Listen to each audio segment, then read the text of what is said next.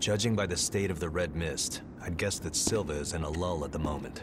Still, he has to be on the brink of frenzy. So it's only a matter of time until... Is there a way we can prevent it?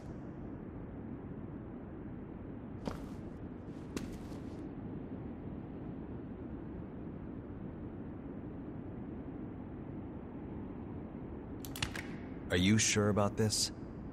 It's true that with your ability, you might be able to take on Silva's relic.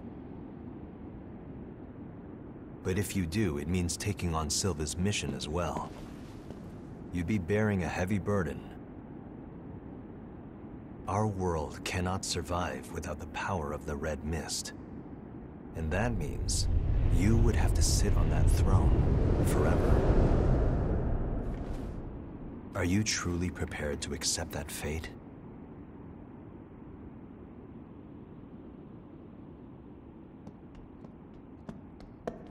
Remember, you're not alone.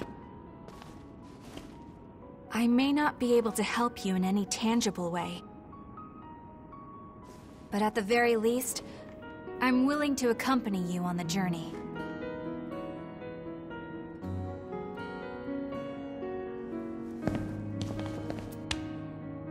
You got a big burden to carry there. Good thing I'm around to help lift it.